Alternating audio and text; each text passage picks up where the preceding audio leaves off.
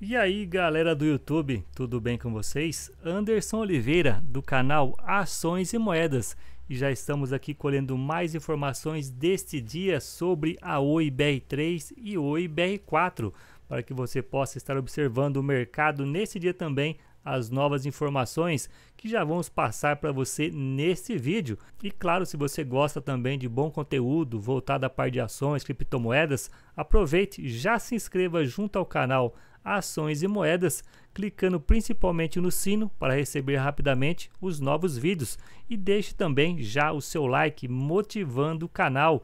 E também agradecemos a sua parceria e a parceria da Curcumica. Sim, cúrcuma tem nome, é curcumica, que vem em sua formulação com rizomas de cúrcuma longa mais colágeno tipo 2 para auxiliar na função articular. Então experimente já curcumica através do WhatsApp 16 997310906. Já pegando aqui para os amigos também parte de cotação deste dia, onde você vê comigo aqui, ó, a nossa OIBR3 vem trabalhando em candle positivo de 5,26%. Você pode ver comigo aqui também no momento desta gravação trabalhando na casa de R$ reais. Movimentação já foi conversada com vários amigos nessa parte então de possível resistência e também marcação de um possível fundinho que até o momento era esperado aqui movimentação de muita volatilidade. Informações dessas notícias passadas nos vídeos anteriores, parte do RJ, final da semana, começo do mês também, dia 3 de fevereiro, que é observação então da parte dos documentos que já vou falar para vocês desta matéria. Então tivemos aí uma movimentação que deixou esse gapzinho em aberto e agora então a faixa de preço que vem sendo trabalhada está trabalhando neste range de preço. Então é legal que a gente possa estar observando toda essa movimentação também do mercado.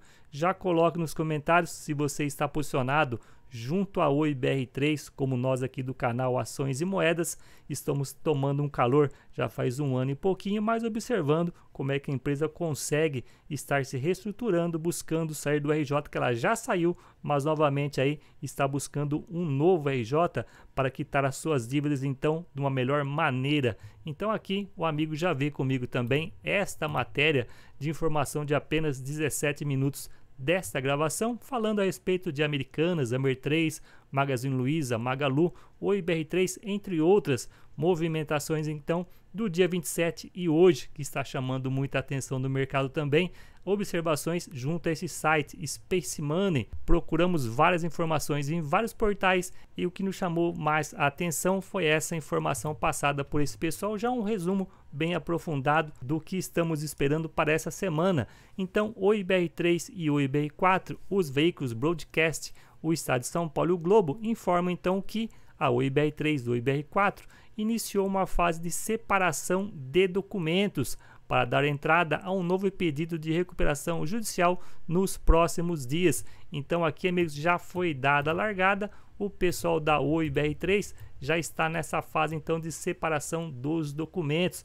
porque o prazo já está se aproximando, então é legal que a gente possa estar também vendo todas as matérias que vem já passando essa cronologia, como está todo o andamento. E de acordo com as reportagens, a Oi negociava com os credores uma flexibilização nas condições de pagamento de suas dívidas, mas as partes ainda não teriam chegado a um acordo. Então, o que eu falei para vocês, que tinha toda a movimentação já passada agora pelo pessoal de valor de 35 para serem negociados junto a esse RJ e também já teve toda aquela informação do seu RJ anterior junto a 2016 na casa de 65 bilhões em dívidas. Então, amigos, um vídeo bem rápido, focado junto às últimas informações da OIBR3 e OIBR4. Obrigado pela parceria de vocês. Logo mais voltamos.